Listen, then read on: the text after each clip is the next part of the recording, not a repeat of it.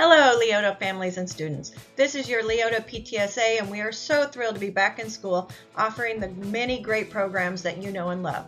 To continue these programs, we have kicked off the Pave the Way Together annual fund that benefits both ASB and PTSA.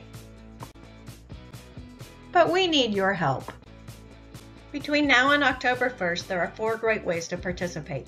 There are membership, sponsorship, corporate matching, and donations.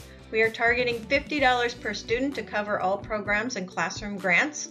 You can find all the program information at www.leotaptsa.com.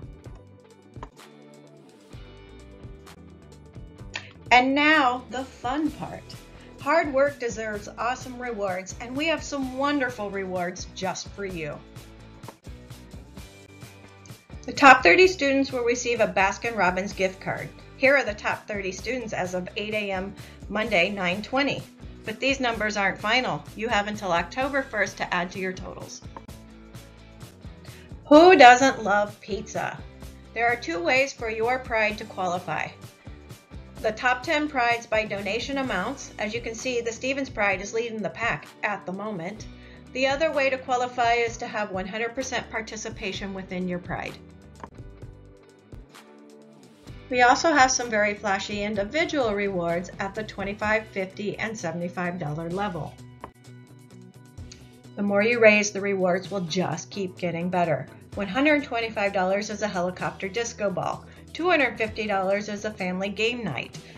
$500 is Leota High School or Pro Team gear, and $1,000 is a trip around the harbor with the Seattle Tall Ship Sailing Company.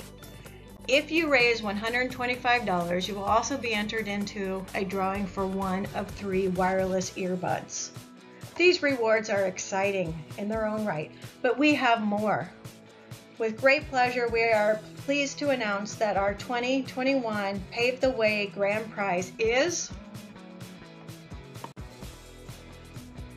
tickets to an actual Seattle Kraken hockey game.